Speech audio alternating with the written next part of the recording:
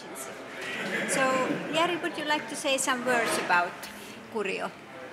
Well, yeah, thank you, Tuija. Um, as you mentioned, we're a social media agency and uh, we help companies kind of like build bridges between the traditional media and the social media. And uh, we do that by training and lecturing.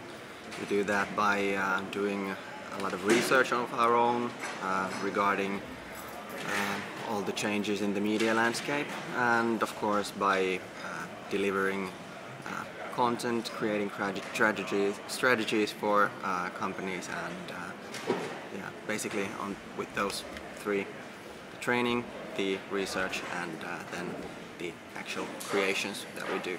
That's how we